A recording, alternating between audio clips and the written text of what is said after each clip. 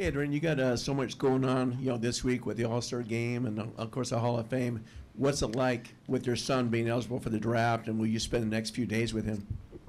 Uh, it's, it's, it's gonna be fun. I think that, uh, you know, the last couple of weeks being a little crazy. Uh, I was excited to come here and, uh, be part of this event, and be part of the draft probably too, knowing that my son has a possibility, see what he decides to do. But, you know, it's been fun, so I'm looking forward to it.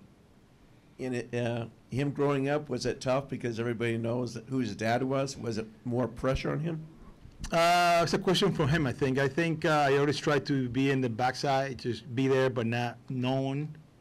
Uh, let him do his thing, uh, letting him uh, struggle his own thing, and uh, we can try to fix some stuff. But you know, I always try to keep giving his, his space. Um, but for the most part, he really handled it well. Thank you. TR over here on the left in the third row. Michael, I know you guys are having a lot of fun with all these guys, all your old teammates around, but when the first pitch is thrown, you guys have always been competitive. Do you think it's going to get competitive? You're going to feel the adrenaline and the juices flow? Hold on, hold so. on. Let me, let answer his phone call first. Ne- Where's that, what's Nevada, Texas? Is that, is that a city? Yeah, it's, just north of here. Sorry, sorry, Nevada. Um, You didn't even know Waxahachie was what is that? Just kidding. Um, yeah, I think so. I think for one, I, I wanted to make sure that the players have a great experience, but um, I think AB and I are both going to try. He already told me he's two and zero, and he intends to go three and zero. So I don't think either one of us would do this thing if once the game started we didn't want to win it. Um, obviously, yeah. To your- to your point, it's great to see these guys. There's a lot of guys who I haven't seen in a while, so it was great to give you know handshakes, hugs, and see old teammates again and old friends again. But um, I think the best, one of the best things we can do for these for these kids is obviously be here to support them, but to let them know that when a game start, you you play to win. That's the whole goal. Yeah, it's, it's nice to see all those guys, you know, here. Uh, got to see a couple guys I haven't seen in a while. It's been fun having back, being back in the clubhouse and enjoying this. Um, and for the part of being competitive, yeah, I, I definitely, I just saw him spying on my lineup right now. True story. Uh, when you walk in, yeah, you know, we, we, we know the game. We, we, we, uh, we enjoy playing the game and we know how fun can be. But at the same time, we want to win. Yeah, we, it's no doubt that we want to win. We want to uh, compete and make sure the guys have fun, enjoy it. This is a privilege to be here.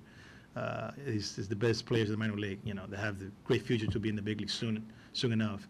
So yes, we want to win, but at the same time, we want to be able to uh, let those guys enjoy the game and, and, and produce, and actually it's a showcase for them. It's a showcase people can see them, what they can do, and hopefully they can be in the big league soon. Down here on the left, front row. Question for Adrian and, and Michael Young. Working with these kids here, uh, you were both known as leaders in the clubhouse here. How do you impart knowledge to these young kids about doing things the right way and being accountable and being a leader? Because already people are looking at them to be the next stars for their teams. Well, first of all, for me, I I learned a lot from this guy. You know, uh, when I got here in Texas, he was the first guy to grade me here, and uh, uh, he was a leader here, and I learned a lot from Michael. He's uh, he's a great guy to follow, uh, and I always try to keep uh, learning from guys, from different guys, how to lead and how to be part of a, a big group.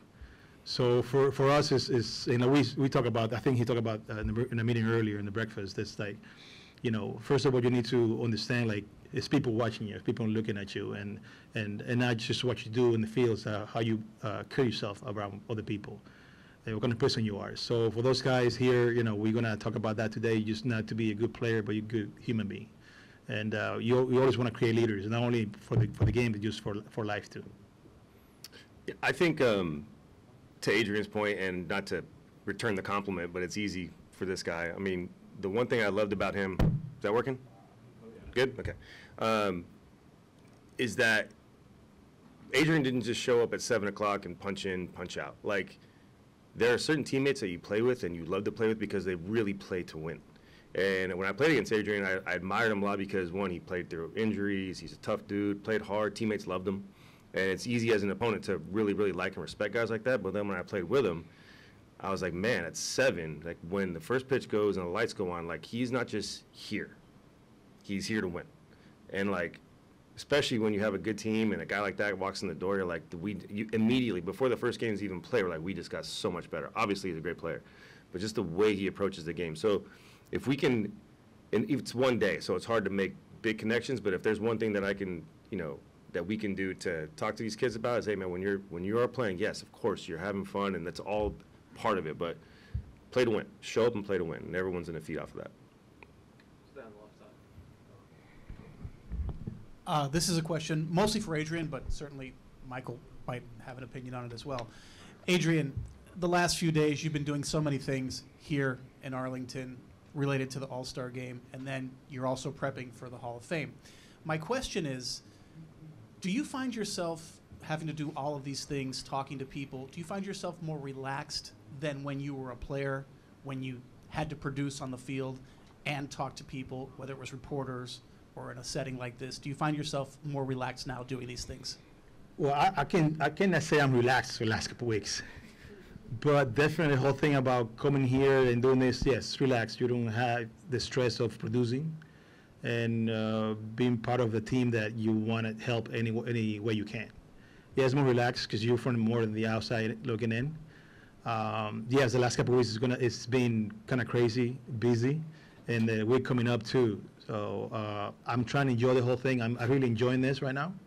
Uh, the only part that I'm enjoying thinking about the speech that I have to get up there and, and, and throw some curveballs. uh, that's not gonna be that's not gonna be that's not gonna be good, by the way. Um, but yeah, this is this is this is a great time. This is a great time for me, and, and not only because of me and I be able to see great friends and, and, and great guys that I look up to, um, but having my son here and enjoying all this all, all this stuff because is is a plus for me. Uh, I just always wanted to be able to uh, be in places that he can enjoy too because he loves baseball more than me actually. So to be able to be around this clubhouse with these guys and, and bring him back to this uh, future game uh, for me is, is a plus. Adrian, what, what do you know about Sebastian Walcott? And then how difficult is it for an 18 year old to be a professional and do the things that you guys are talking about, knowing that people are watching him? Well, it's I, I can't say that I can relate because you know I think everybody know who he is. Um, but as as a player, you have to just do you do your thing.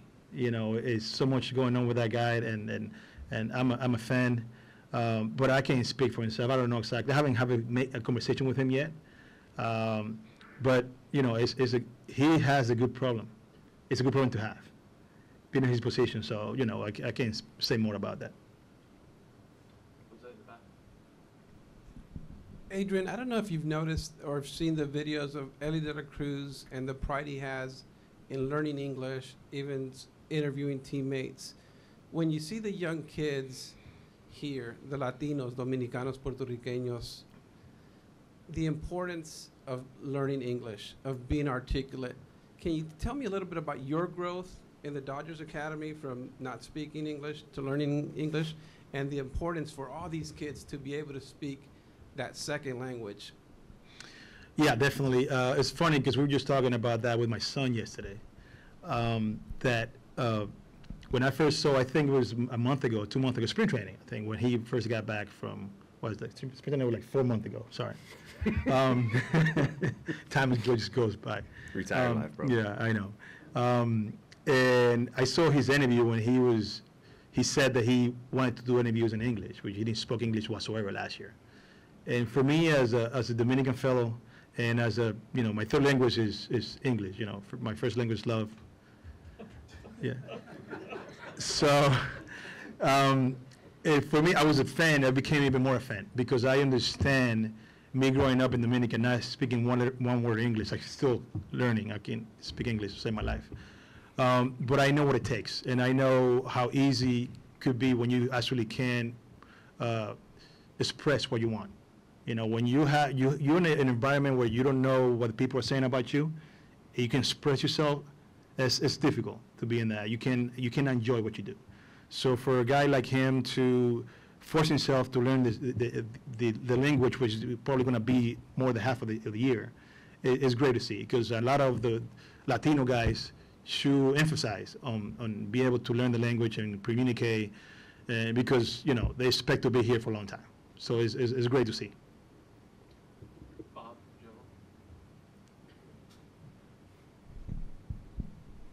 Hey, Michael, when, uh, when Adrian came and you became teammates, when did it hit you, or how quickly did you think, "Yeah, I might be playing with a future Hall of Famer here"? And I know you touched on it, but what really jumped out at you about him? Yeah, um, playing against him when he was in Seattle, it's weird. I, I don't know how AB is, but like I, I never focus like on on stats. You know who's good. Like you watch Adrian take ground balls, like okay, he's really good at this. You watch him like hit two homers in a game. Okay, Adrian's got a lot of power. Then you play with somebody, and you gain this whole another level of respect for the way they do it. Right? It's um, you know, he's 0 for 3, but he like he doesn't give that fourth one away. It's boom, base hit in the right field, and he gets momentum into the next day. It's again, he, he's showing up, doesn't give anything away, never takes a play off on defense. So all those small things, you start looking at that, and you're like, wow, this guy's a really, really special player. Um, and it didn't again, it didn't take long once we were teammates for me to see that. And then you combine that with the fact that he was a big league starter when he was 11 years old, and that's a lot of numbers that are like stacked up. And next thing you know, it's um, you know, you look up at what he's able to do, and I was like, damn, like look at look at his numbers right now. And then he goes on, and sure enough, in his 30s, he just crushes the league. And next thing you know, he's a, a slam dunk first ballot guy. So again, a huge honor to play with him for sure. Thank you. Steven, down here in the front of the line. So Adrian, we've been talking about this speech for months. How much of it is done? It, it's, it's done. It's just got got it done two days ago. so um, I, I it's, it's, it's, it's done, but just how deliberate that's going to be the, the big part. I can I can't speak English for once, and once I get there, I, I'm gonna get back. It's gonna it's gonna be a mess, but you know I'm gonna get up there somehow. Just use your love language. Huh? Just use your love language. Yeah, I I- I should. Yeah. That's easy. Yeah, I'm Please gonna do don't. that. Yeah, thank you. Appreciate Let, it. let me ask you this. Yeah. As you prepared for this and learned about the Hall of Fame process and gone through all this since you found the word that you were getting in, how much have you learned and have you given yourself time to just really think about what you're going into and the names that you're going to be associated with for the rest of your life? To be honest, I, I, I for a second, couple times, I, I, I thought about it, but I'm being so concentrated. Jesus Christ! I mean, really? Evan Graham, back people. Evan back Graham just got here. Slams his Christ, backpack in anything? and Go ahead, he's Adrian. Yeah, go ahead. fucking Yeah, Yellow yeah, bright no, shirt Go ahead. right in front. Yeah. She said, "You know what? I'm good at it." I know. It's Okay. Uh, because John is here, I'm gonna stay. Yeah. Anyway, sorry. yeah. Yeah. So um, yeah, you know, I the whole process of Hall of Fame thing is is I'm honored, and I never thought about being in that group whatsoever, uh, and I'm I'm grateful, but it hasn't sunk in yet. It is it's been a lot of things that I have to uh, prepare for, um, getting ready for a lot of stuff. Um, and like like I repeat again, like this whole speech thing doesn't really get me to enjoy the way I should, but I can I can't wait to be there trying to enjoy it. But I think once the speech is over, it's then when I'm gonna hide maybe if I don't screw it up too bad, you know, uh, then I'm gonna probably realize where I'm at, the people are next to me, and what I've accomplished, and the, the group that somehow I'm, I'm gonna be associated with. Can, can I can I double back on? that? Sorry, I don't mean to butt in here, but like, he's doing all this in his second language. I mean, I can't imagine how difficult that is. Really, we tease him all the time when he when he talks, but I mean, this is this is not his third language apparently, right? but I mean, I can't imagine how difficult that is. And like to your point, you're talking about young players now making this huge effort to speak English. I mean, you ask players here born in the states, and they can't go to Chipotle. They get this is Spanish to them is ordering extra guacamole at Chipotle. That's their Spanish for the day, right? So it's it's really incredible what these guys are able to do. Come here and they put in massive efforts to one get to know their player, their teammates in the clubhouse. Uh, you know, live everyday life in a different society. Um, I give you know Adrian just um, talk about what he did as a player, but to be able to do this, to write a, a you know Hall of Fame speech and to try and cover his whole life for people who have meant something to him and do it in English, really is an incredible thing. Really is. Thank you, Michael. Alex, in the back of the. Adrian, uh, one of the things that kind of stood out about you as a, as a player was um, there, there was uniqueness to the way that you played in addition to the production, right? Like whether it was uh, the shuffling of the feet after a take or like, you know, sometimes appealing your own check swing. Um, how aware were you of some of the uh, of some of the unique traits that you demonstrated on the field that uh, ended up being pretty entertaining to watch? And who entertains you when you watch them playing baseball right now? Well, thank you for calling it, calling it unique. I think it was more weird, and, and, you know, stuff that that I used to do, but uh, but it wasn't by design. It it just is ways that I was always trying to figure out how to be better and more consistent. And I like do I, do, I did things just to to try to make myself better. Um, the show for the feet, I, I don't know. I didn't like it. I don't know how it came out. It was when I was aggressive and I didn't swing until my feet just go. I, I couldn't help it. You know, all the things that I do, yeah, that was just, stu- you know, oh, yeah, okay. I, I stupid here. Some crazy things that I used to do, you know, but part of it was just trying to have fun, enjoy the game. Uh, and I think that was one of the main reasons why I played for so long and why I, I, I got to actually enjoy what I did understanding that it was not a job, it was just a game that, you know, we get paid to play. It was- We have so much passion. I, I love that game, and so why not enjoy it? Um, and I was trying just to do whatever I could to just be happy and, and enjoy the game. Uh, some people like some stuff I did, some people didn't like it, but, you know, I would just be myself, you know, be myself. Um, but I seen a lot of guys doing different things now, you know, I, I watch, uh, uh, uh, Soto, which do some, some similar. Um, and other guys do crazy stuff. Like some guys do a little too much, but uh, you know, every, everyone everyone has their own different things to do. But you know what?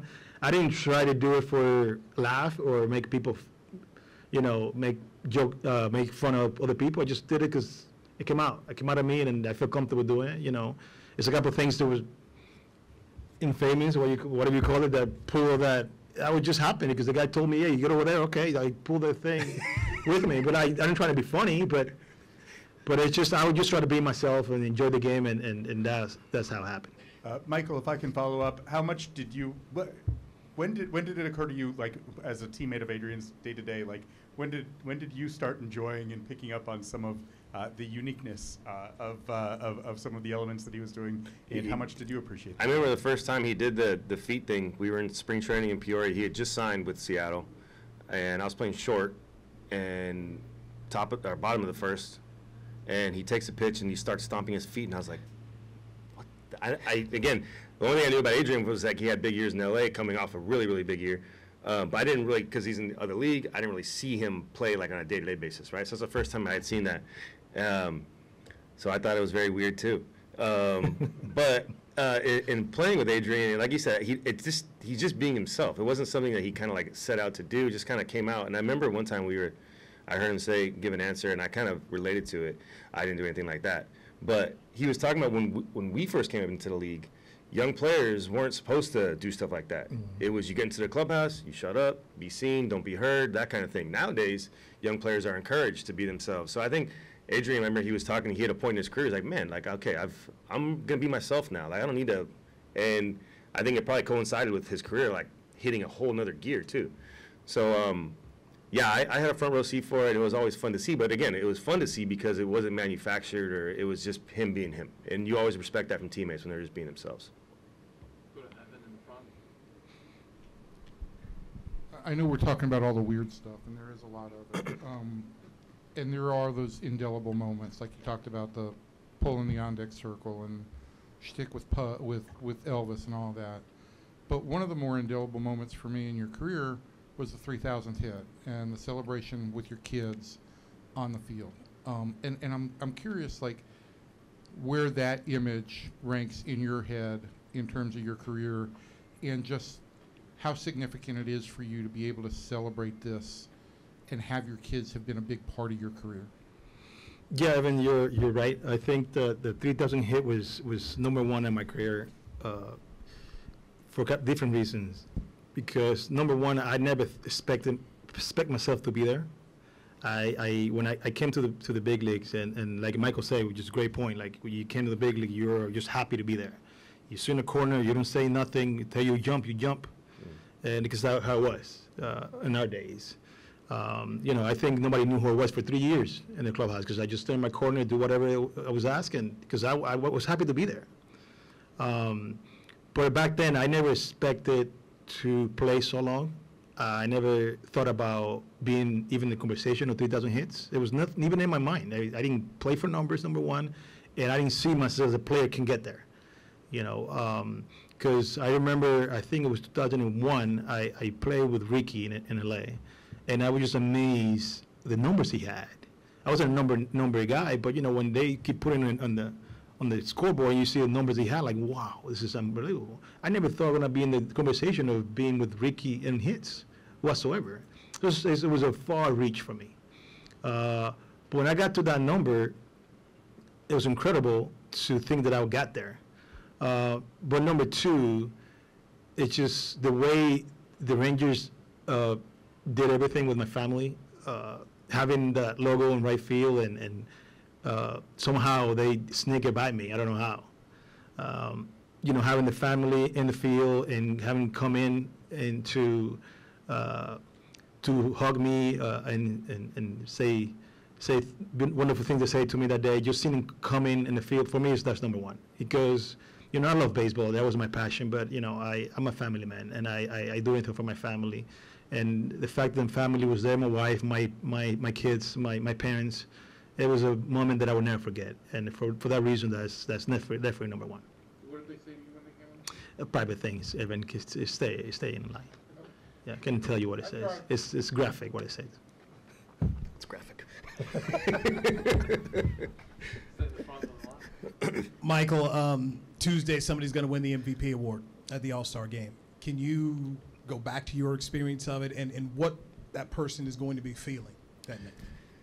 Yeah, it was that was a fun night. Um, you know, That it's- triple? Yeah, speed. See that? Yeah. Um, it it's a really really cool moment. Like in, at the at the time when you're playing, you are it's an exhibition game, right? Um, in at the time they had the the rule with they decided in the World Series too, which was silly, but um, you knew it kind of did mean something. But I remember in that like honestly in those in that at bat. Um, I had a bit a bit of a selfish moment. Um, we had a guy on first, um, Paul Konerko, who got pinch run for, and Troy Glaus was hitting, and I was on deck. There's two outs. Trevor Hoffman's on the mound, and Troy hits one like down the line, in the air, and I knew it was going to be fair. It was just if it's going to be a homer or a ground rule double. Now, if he hits a homer, Mariano comes in, game's over. But if it bounces over, I'm up a second and third. So I'm like bounce, bounce, bounce, bounce, bounce, bounce. If we're in a regular season game, if we're in a spring training game, I'm not thinking that. In an All Star game, I was like bounce, bounce, bounces over. I was like, donut off, let's go. So again, you do have a bit of a different mindset uh, for a game like that, because now kind of everything was on the line, and it made that bat a lot more fun, especially even before you know the result. Um, and then all of a sudden, you know, at the end of the game, uh, you know, got a truck and gave it to my dad. It still sits in his driveway. Um, uh, so it was a really, really cool moment. All Star games are great. They really are fun. Um, you know, no matter what, a lot of times, you know, leading up to the game, you get asked, you know, do you want to go? You know, I always said, yeah, like I, I would love to go. Um, All Star games really, really are a good time. Uh, you get to kind of like hang out with guys that you have a lot of respect for. Uh, if you if you're lucky to go with a bunch of teammates, it makes it even better. Um, I know we went one year. We were coming off uh, going to the World Series, so we had our staff, a bunch of players. It was a blast, and um, a lot of special memories. But that was that was definitely the best one. And, and real important question here. Um, can you take us through and guide us about the love language that he had in the clubhouse with you guys? I didn't know he had one. Um, uh, I think that's uh, probably very graphic too. So I'm not, gonna- I'm not going to say anything. Oh, that's funny. Any last ones, please, guys? Do, uh, do two more, Bob, and then finish up with David. Adrian, this weekend, is there any Hall of Famer that you really want to meet? You never talked before, you always wanted to uh, say hello? There's plenty of them, plenty of them that I, I, I would love to shake their hands and, and, and tell them that I, I was a huge fan. You know, um, but I want to say who. Yeah, I want to say who. I figure we can finish up with Spanish, if that's okay, with Adrian. Um, Adrián, lo que significa todo este tiempo, primero estas actividades en el Juego de Estrellas, esto de futuras estrellas y por supuesto el Salón de la Fama, lo que ha significado todo esto para ti, lo que está en tu mente y cómo lo has manejado todo. Bueno, gracias. or- Orgulloso de estar aquí y que he tenido el chance de, que me eh, seleccione para ser el manager de, de las futuras estrellas. Ah, tre- tremendo talento en ese clubhouse. Y para mí es un orgullo estar aquí. Ah, este es mi tercera, tercera, este, tercer año haciendo esto y me ha gustado mucho. ¿Verdad que me gusta cómo todo se, se, se envuelve? Ah, y es, es un placer ver estos, estos muchachos aquí jugando y después de un año más tarde están en grandes ligas. Por eso me, me gusta de- este evento. Y con relación a Salón de la Fama, es, eh, tenemos tiempo esperando esto. ah, va a ser un momento bien significativo para mí y mi familia. Eh, estamos tratando de disfrutarlo lo, más que podamos. Ah, muchas cosas que están en movimiento, pero um, va a ser algo inolvidable para nosotros y esperamos tratar de, de- de disfrutarlo como se debe. Y, y, este, estar agradecidos y, y- y- y va a ser un honor estar en ese ah, podio con todo el mundo. Gracias. Ya. Eh, y necesito aprender más. All right, guys. Thank You Thank you. Thank you, guys.